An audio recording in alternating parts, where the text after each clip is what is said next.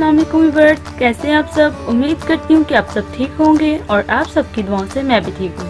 आप सबको मैं अपने इस चैनल सीक्रेट फॉर फ़ैशन में खुश आमदीद कहती हूँ। जो मेरे इस चैनल में न्यू है, वो मेरे इस चैनल को सब्सक्राइब करना ना भूलें।